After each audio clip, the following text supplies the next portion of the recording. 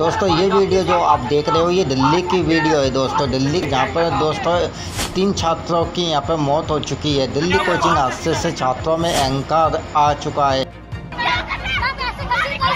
और दोस्तों, ये खबर जो है दोस्तों, ओल्ड राजेंद्र नगर में है दोस्तों, जहाँ पर स्टूडेंट्सों ने प्रदर्शन किया है। दोस्तों, यहाँ पर तीन छात्रों की मौत हो चुकी है।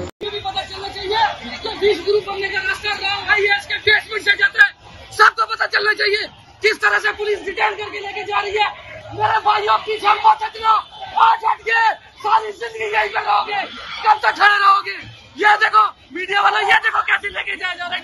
तो दोस्तों यहाँ पर जो है स्टूडेंट जो है दोस्तों यहाँ पर प्रदर्शन कर रहे हैं दोस्तों और पुलिस जो है इनको गाड़ियों के अंदर भरकर ले जा रही है। तो दोस्तों इनका जो जवाब मांग रही है सरकार से तो सरकार को यहाँ पर जवाब देना चाहिए स्टूडेंट्स को लेकर।